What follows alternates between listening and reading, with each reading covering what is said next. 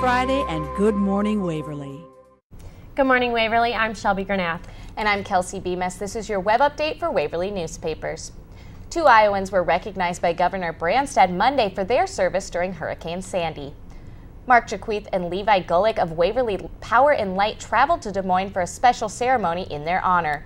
Both traveled to Long Island, New York early November, where they spent several days working cleanup efforts. The two were part of nearly 10,000 linemen who volunteered their efforts during the storm in Long Island alone.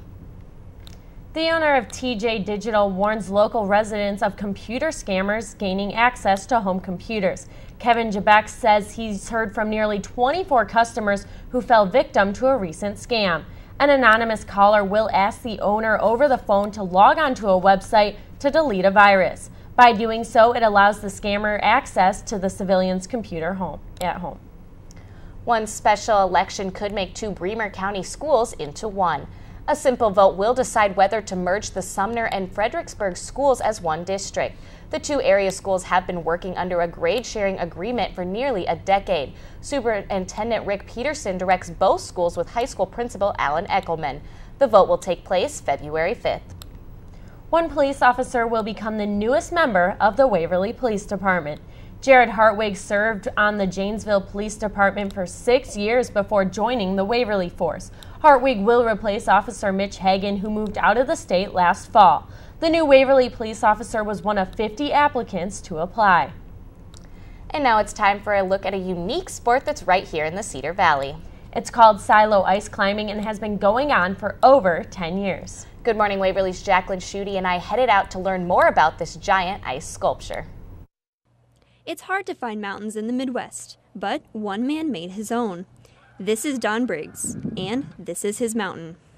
A lot of people ask me why, you know, how did I come up with this idea and, and what was it all about.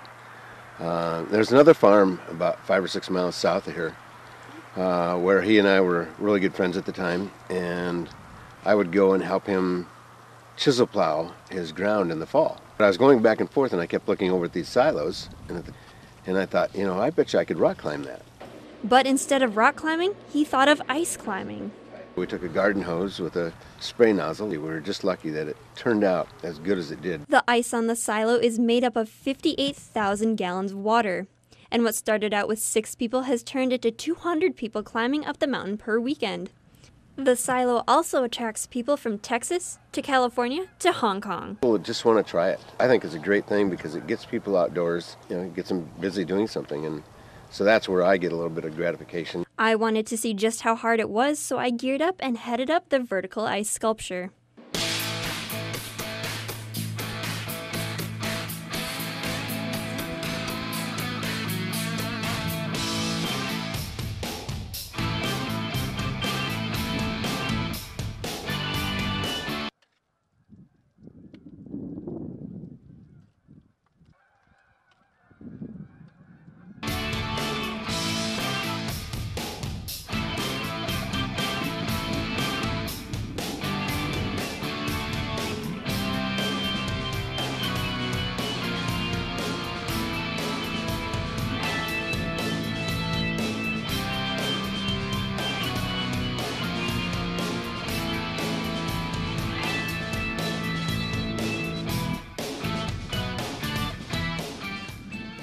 After climbing up half the silo, I realized I couldn't climb anymore, but there's always next time.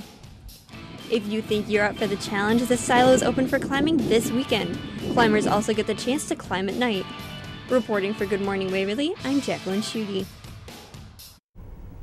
Don Briggs also said the oldest person to climb the silo is 88 years old. The youngest person who climbed it was only 8 years old. He made it three-fourths of the way up.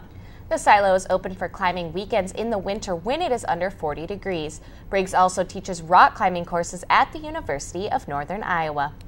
This has been a web update for Waverly Newspapers. Have a good day, Waverly.